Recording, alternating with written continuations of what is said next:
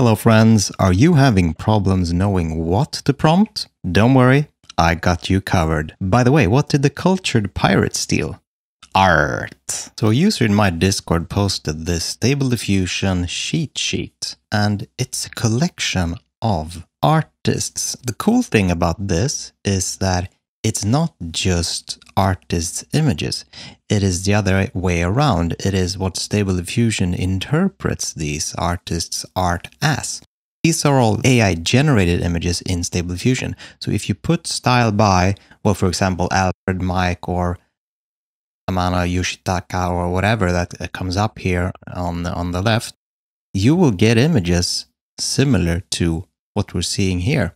We're seeing a Wes Anderson here on the screen. And if we click into that, you can see here's with the simple prompt style of Wes Anderson, you're getting those kinds of images. Now, what's cool about this is if you're feeling low on inspiration or you're just doing the same old images over and over again, I do too, don't worry. But then you can just go in, find a style that you like, copy that or copy multiples and start working. I think this is a very cool. And as of right now, there are actually 706 styles put together. So just look at all these cool examples. So let's take something at random here. Let's take this, for example, Francis Cadell. So if we take this and let's say cat in a hat, style of Francis, was this Francis Cadell? Francis Cadell, yeah. I'm just going to change this to DPM plus plus 2 in Karras. We're running 20 steps and we're doing four images at 512 by 512, maximizing this image again. And now without any complicated prompts, we're getting, let's look at the, the style here.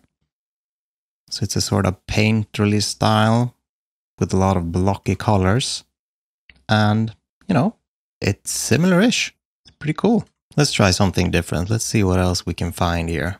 Something that looks cool. So we have this uh, Richard Corbin that has a very specific style. So let's take that and let's put in man portrait style of Richard Corbin. We are generating four new images. And it seems to be very close to what we had. Let's look at that one and compare it to what we have here. I'd say the style is uh, very close. Now there's some about info here that you can read. All the generations have been made with either deliberate or Dreamshaper.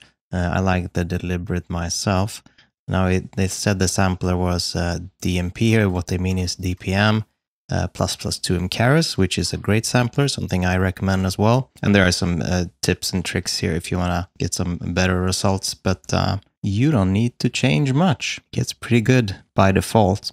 Now here's a photography kind of style. Let's try that style of Ansel Adams and let's change it into Renaissance woman portrait and see what we get. Now we are getting that black and white style. Maybe the Renaissance influenced it a little bit. The colors especially aren't as good here. As you can see here, the gray or the contrast is, is very is very nice. Here it's um, it's not as beautiful. Let's let's go with style of Ansel Adams only and see what that gets us. Now I'm not using any negative prompts.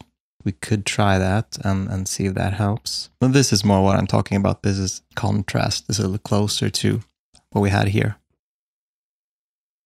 Now we're running a woman portrait here when we have the our default negative prompts here. These are actually very good, I would say. And these are just 512 by 512. Let's run the same. Actually, let's save this and compare. And let's run the same seed. And let's remove our negative prompts and run the four images again. And let's compare if um, they're better or worse. So on the left, we have uh, the default negative prompts in. On the right is uh, without the negative prompts. And while it's two wildly different sets of women, one are young on the left and, and the right are older, I think in general the, the skin looks much more realistic on the left ones than the right ones. So I'd say the default uh, negative prompts uh, helped for sure. And if you want those, you can just find them in the video description. They'll be going to be down in the pinned comment too as well. Completely free. So go wild. Check out all the cool options here. pick something you like, mix, match, show me your best creations, and um, have fun. There's not a lot more to talk about here, so um, hope you had fun. See you in the next video. Have a good one.